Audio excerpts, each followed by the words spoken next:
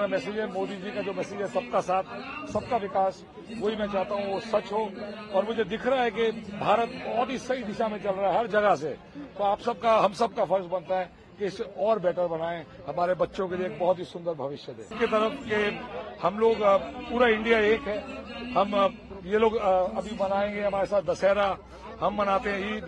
ये देश ही ऐसा है। तो इसमें कभी कोई फूट डालने की कोशिश नहीं करे यही मेरा मैसेज है। मोदी जी का जो मैसेज है, सबका साथ, सबका विकास, वही मैं चाहता हूँ, वो सच हो।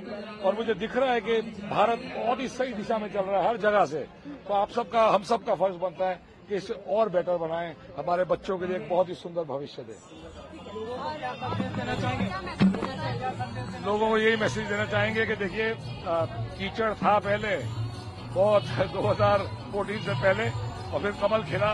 और कमल खिलने के बाद मोदी जी जैसे आए इंसान जो मुझे लगता है नॉर्मल इंसान नहीं है। उनकी फेस पे देख के ऐसा लगता है कि ऐसा तेज है, ऐसा प्रताप है, जैसे कि वो अवतार ही। हैं तो वैसे लोग जो हैं, जो अच्छे लोग हैं, सिर्फ़ उनको सपोर्ट करें। हमें समझ में आ जाता है कि आप कौन अच्छा है, कौन बुरा है। तो देश का भला जो चाहता है, उन्हीं को वोट दें। ऐसे लोग आगे चलें। और जितना भी हम कोशिश करें, देश के अंदर जो सिस्टम चल रहा है, उसको चेंज करना बहुत हार्ड है। कोशिश तो जारी है। बहुत चीज़ें चेंज हुई हैं। लेकिन जो हमारा सनातन धर्म है, जहाँ से हम सब, ये अधिक विश्व में भारत सबकी माँ है, यहीं से दुनिया शुरू हुई है, यहीं से प्रकृ- प्रकृति पूरी दुनिया में फैली है। तो भारत के जो लोग हैं, वो ब्लेस्ड हैं। It's God's own country and no matter what we call God कोई ऊपर जाके वापस तो नहीं आया।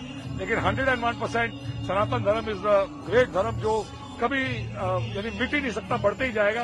ये जो बच्चे यहाँ आते हैं और यहाँ आशीर्वाद देते हैं, मुझे बड़ी खुशी होती है, क्योंकि यही है जो हमारे भारत को आगे भविष्य है। और मैं प्रे करता हूँ कि मोदी जी की लाइफ लंबी हो, योगी जी की लाइफ लंबी हो, ऐसे लोगों की लाइफ लंबी हो जो सिर्फ़ देश की सेवा करें।